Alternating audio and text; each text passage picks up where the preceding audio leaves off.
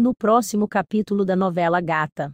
Esmeralda, fora de si, diz a Perla e Jacira, que Paulo ficou de trazer Paulinho há duas horas, e até o momento nada deles.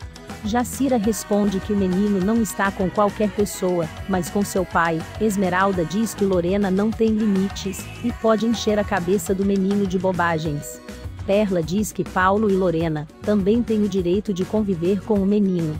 Lorena despede Dora, que diz que Lorena ficará só com seus fantasmas. A pequena Virginia diz a Esmeralda, Jacira e seu pai que sua avó Lorena, a disse que não a beija por ela ser moreninha, mas que Dora defendeu. Quando Esmeralda chega atrás de Paulinho, ele a diz que ficará com sua avó, porque ela, Esmeralda, é muito má, por isso a chamam de gata. Esmeralda responde que seus amigos a chamam de gata carinhosamente e que já explicou tanto a ele quanto a sua origem. Esmeralda diz a Paulo que sua mãe está envenenando Paulinho e ele não faz nada. Paulo recrimina sua mãe, dizendo que agindo assim a única coisa que conseguirá é que todos virem as costas para ela. Esmeralda diz a Paulo que só o perdoará quando Paulinho voltar a amá-la. Dora diz a Centavinho que dava vergonha dizer-lhe que era sua mãe.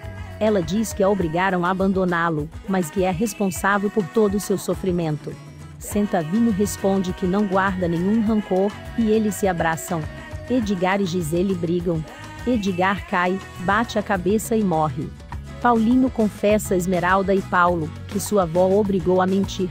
Perla diz a Paulo que levaram sua mãe a uma penitenciaria de segurança máxima.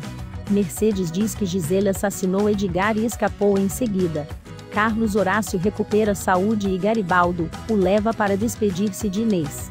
Garibaldo diz que Inês é a moça que salvou a vida dele. Ele quer contar que Inês é a mãe dele.